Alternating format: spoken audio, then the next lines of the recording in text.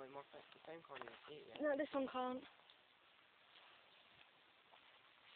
What's this all about?